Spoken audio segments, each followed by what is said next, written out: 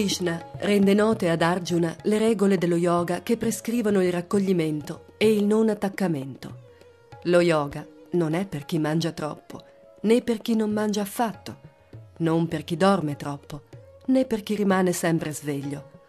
La regola è di trovare il giusto equilibrio fra i pasti, i riposi e gli sforzi dell'azione, in perfetto distacco, sia dal caldo che dal freddo, dal piacere e dal dolore, e perfino dall'onore e dal disonore.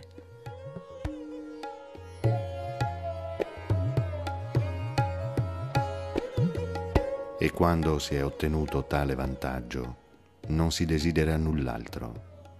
Fissati in questa condizione, nessun dolore ti scuoterà, anche se grave. Non capisco come questo yoga dell'equanimità possa stabilirsi in modo durevole, o oh Krishna, perché la mente è incostante, ostinata, tormentata, è come il vento e sembra impossibile da soggiogare.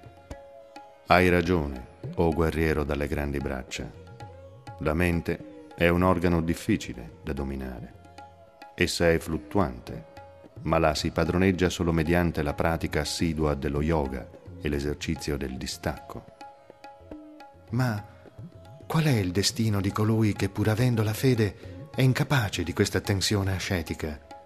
Non andrà ramingo, incerto, smarrito, sul cammino della ricerca del Brahman? Ho questo dubbio, Krishna.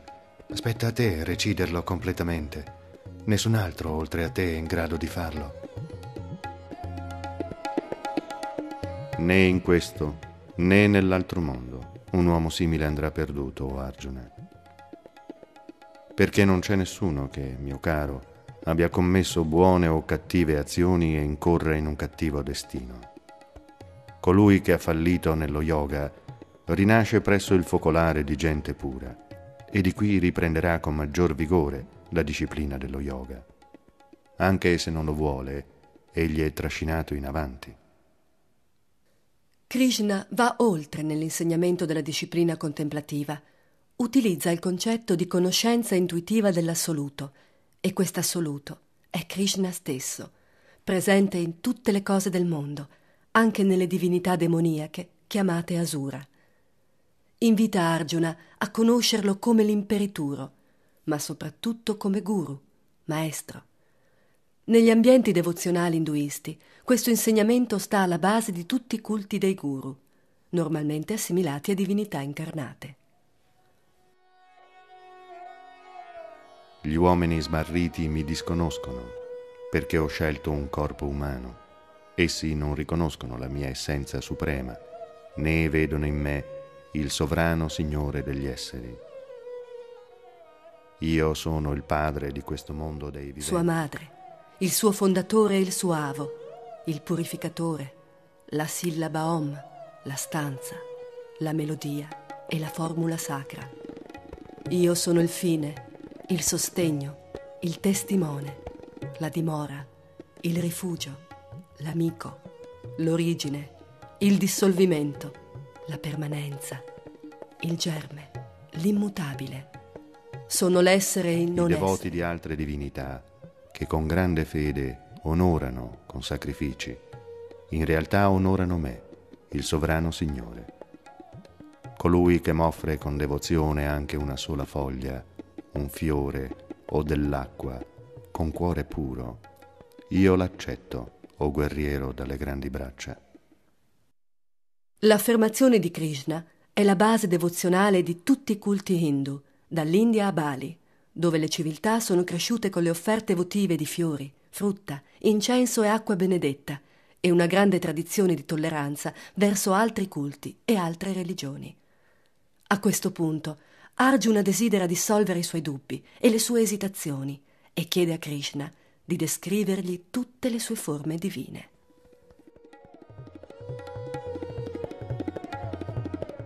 Ti esporrò le mie divine manifestazioni, limitandomi solo ad alcune, perché la mia espansione è illimitata. Io sono fra gli astri il sole e fra i corpi celesti la luna fra le cime il monte Meru, fra le acque l'oceano. fra le parole la sillaba unica, fra i sacrifici io sono le parole mormorate, fra gli esseri immobili l'Himalaya, fra le armi io sono il fulmine, il leone fra gli animali selvatici. Delle creature io sono l'inizio, la fine e il mezzo, la scienza del sé fra le scienze. Io sono la morte che tutto porta via. Fra gli esseri femminili.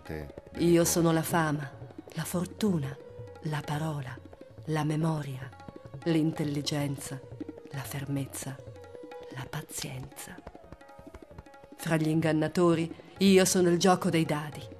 Io sono la vittoria, la decisione, la virtù dei virtuosi.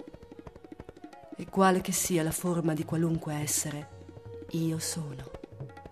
Non vi è essere, mobile o immobile. Non vi sono limiti alle mie divine manifestazioni o tormento dei nemici. Ma io ti ho fatto questa lunga esposizione come un esempio. Ogni essere che abbia una manifestazione di virtù, di prosperità o di forza, riconoscilo come scaturito da una particella del mio splendore. O piuttosto, che bisogno c'è di una tale abbondanza di sapere, Arjuna? Immutabile io sono presente a questo intero universo. Ti ringrazio per questo segreto discorso. Per opera di esso, lo smarrimento da cui ero preso sta per svanire. Signore Supremo, Spirito Supremo, le cose stanno proprio come hai detto. Io però desidero vedere la tua forma. Se pensi che sia possibile che io la veda, allora mostrami il tuo essere inalterabile. Arjuna s'è posto nella massima condizione contemplativa e da questo luogo inimmaginabile può vedere tutto ciò che Krishna è e non è. Krishna offre al Pandava la visione sintetica di tutte le forme elencate in precedenza e numerose altre, divine e terrene. Lo fa su sua richiesta, sottolineando che si tratta di un favore assolutamente insigne, al quale in questo mondo nessuno può accedere. Arjuna sarebbe del tutto incapace di sopportare una simile visione con il solo sguardo umano, e dunque il Signore Krishna gli concede per un momento lo sguardo divino.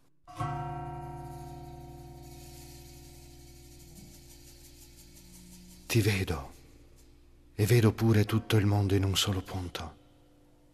Tutti i guerrieri si gettano nella tua bocca e tu li frantumi tra i tuoi denti. Desiderano essere distrutti e tu li distruggi.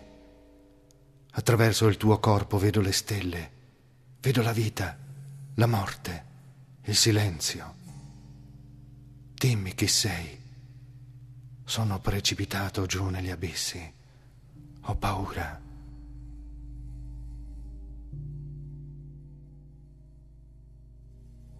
Sono tutto ciò che pensi, tutto quello che dici. Ogni cosa è appesa in me, come le perle alla collana. Sono il profumo della terra, il calore del fuoco. Sono ciò che appare e ciò Sono che Sono la beffa dell'imbroglione. Sono la luce di tutto ciò che splende. Sono il tempo invecchiato. Tutte le cose sprofondano nella notte e poi risorgono alla luce. Ho già sconfitto tutti questi guerrieri, ma chi crede di uccidere e chi crede di poter essere ucciso sbaglia comunque. Nessun'arma può trafiggere la tua vita, nessun fuoco bruciarla, nessun'acqua affogarla, nessun vento può asciugarla. Non temere più, perché ti amo. Conquista la gloria o guerriero dalle grandi braccia. Trionfa sui tuoi nemici, godi di un regno prospero. Tutti i guerrieri sono stati da me prima votati alla morte, sii ne lo strumento e niente più. Non tormentarti, combatti, tu vincerai i tuoi rivali in questa battaglia. Ora puoi dominare il tuo misterioso e incomprensibile spirito puoi vedere il tuo lato nascosto. Agisci come devi agire. Io stesso, non resto mai senza agire. Alzati. Arjuna, dopo queste parole, spaventato e tremante, saluta Krishna con le mani giunte in segno di omaggio e inchinandosi si scusa per tutte le volte in cui, considerando il Signore assoluto come un compagno d'arme, si è rivolto a lui con confidenza cameratesca. Ora, dopo la visione divina, si accorge che in realtà il suo cocchiere altri non è che l'incommensurabile, il maestro degno di adorazione, il creatore di tutte le cose. Arjuna è atterrito e prega il divino di mostrarsi ancora nella sua forma umana. Krishna lo accontenta. Non tremare, non cadere nello smarrimento alla vista di questa mia forma terribile. Libero da timore, con mente lieta, contempla nuovamente questa forma umana che è veramente la mia. Vedendo questa tua benigna forma umana, Janardana, ritrovo ora il coraggio e rientro nel mio stato naturale. Tu hai visto quella mia forma così ardua a vedersi. Gli stessi dei aspirano a contemplarmi in quella forma. Né i Veda, né le austerità, né le elemosine o i sacrifici permettono di contemplarmi sotto la forma che hai visto. Soltanto una devozione fissata su me rende possibile conoscermi e penetrare in me realmente. Colui che mi dedica le opere che compie, colui del quale io sono il fine supremo, devoto a me, libero da ogni attaccamento e da ogni ostilità verso tutti gli esseri. Questi viene a me, o Pandava. Arjuna chiede allora quali siano i migliori esperti nello yoga in grado di onorare Krishna e come si faccia per riconoscerli. Il Pandava vuole sapere perciò come sia possibile mantenere salda la fede in un assoluto imperituro, che al di là di tutte le sue manifestazioni è totalmente un'entità astratta. La tradizione induista, per voce di Krishna, sottolinea a questo proposito l'importanza dell'aspetto affettivo nella conoscenza dell'assoluto, il suo valore psicologico. È più facile onorare un assoluto personale che uno impersonale. Sta in questo affetto, tutto umano, il successo della devozione nei brahmini, nell'induismo, e della fiducia nei bodhisattva, nel buddismo. Krishna passa quindi ad elencare le virtù necessarie per l'uomo saggio, per l'uomo che incarna il Brahman.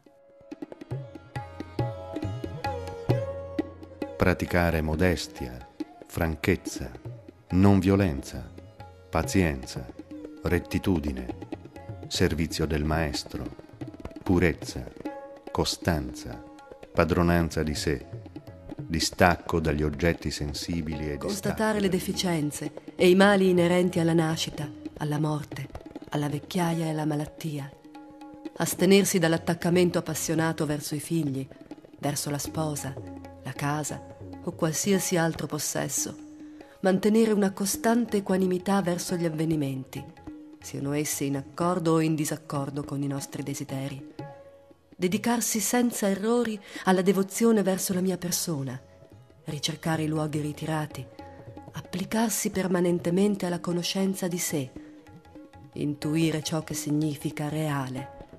Ecco ciò che viene detto conoscenza e tutto il resto è non conoscenza. Enuncerò ora quel conoscibile che rende immortali, il Brahman senza inizio, supremo, che è essere e non essere.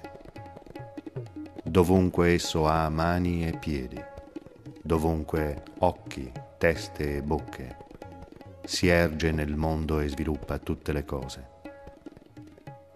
Esterno e interno agli esseri, immobile e mobile, a causa della sua leggerezza è incomprensibile, è lontano e vicinissimo. Indivisibile, si presenta come diviso. Conservatore degli esseri, egli è il grande divoratore. È detto luce delle luci, al di là delle tenebre. Esso è il fine e il mezzo della conoscenza. È la conoscenza. Egli dimora nel cuore di ciascuno. liberati dall'orgoglio e dall'illusione, sbarazzati dei desideri, liberati dalle coppie dei contrari e accederai al Signore immutabile. Stabilitosi nell'occhio, nell'orecchio, nel tatto, nell'odorato e nella mente, il Signore fa uso degli oggetti sensibili. Che esca dal corpo o invece vi soggiorni e fruisca del sensibile, le persone sviate non lo intendono, ma coloro che possiedono l'occhio della conoscenza lo vedono. Krishna continua la sua descrizione della condizione divina e di quella demoniaca, la condizione degli Asura. Tutto il suo discorso è volto a respingere l'ateismo e tutto ciò che si avvicina al materialismo. Le prescrizioni del maestro sono orientate verso una totale disciplina degli appetiti umani, condizione ultima per la contemplazione del Brahman. Le persone asuriche non conoscono né le regole dell'azione né quelle della non azione. Esse professano che l'universo è senza realtà, senza fondamento, senza un Signore sovrano, senza coerenza reciproca fra gli elementi del reale. Contando soltanto sul desiderio, sull'insaziabilità, dotati di falsità, di orgoglio, di passione, per effetto di questo smarrimento adottano un comportamento malvagio e costumi impuri. Inchiodati da una inquietudine logorante che ha termine solo con la morte, avendo come fine ultimo il godimento degli oggetti del loro desiderio, convinti che questo sia la misura di tutte le cose, incatenati da una moltitudine di speranze intralcianti, essi si adoperano per accumulare ingiustamente ricchezze. Ho acquistato questo oggi, otterrò quello. Ho molti beni, ma ne avrò molti di più. Ho ucciso questo nemico, ne ucciderò ancora degli altri. Io sono il padrone, ho raggiunto il successo, sono forte, sono felice, sono ricco. Chi altri è al mio pari?